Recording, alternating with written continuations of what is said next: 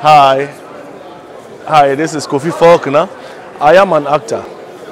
Keep watching Climax TV. You have the best in entertainment and social life. I promise you. See you there.